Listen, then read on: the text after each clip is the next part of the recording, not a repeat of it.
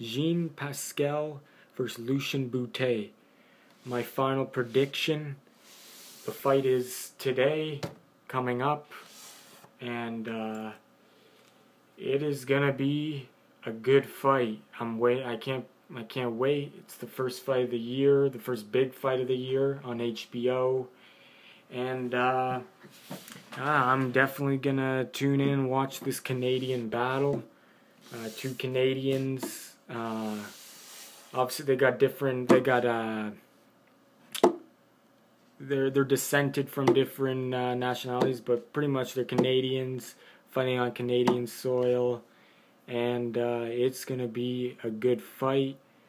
Both guys are uh, gonna they're gonna bring the show, and uh, I definitely see it being they're both gonna be trying their best, and uh, I see uh, I see it being a great fight and possibly end in a KO. I think it will.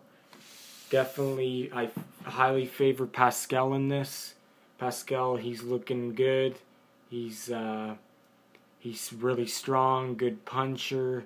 Working with Roy Jones, he's gonna sharpen his skills now, his technique, and uh, if he improved his endurance more, he's going to be even more of a threat. That was the only problem. He gasses.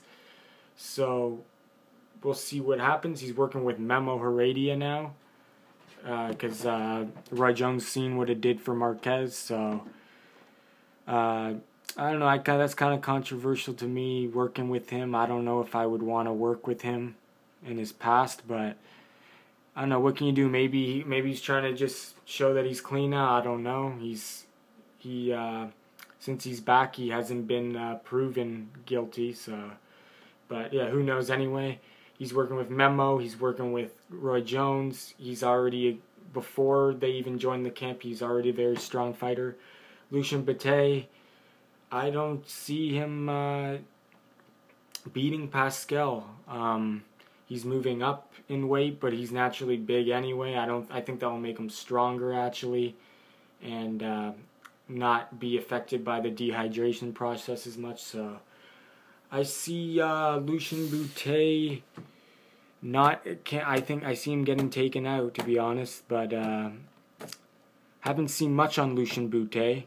But I seen Pascal and he's a beast, and I think he was gonna KO Lucian Bute. But for I haven't seen that much Lu- Lucian Bute, so I can't see what his advantages are really. But I know. Uh, they both lost to Carl Froch, and uh, I Pascal is favored, and uh, I do favor him. His power, I think, will uh, prove too much for Lucian Bute, and I see him KO, uh, KO Lucian Bute. So let me know what you think about this fight. Leave a comments in the comment section below. Thanks.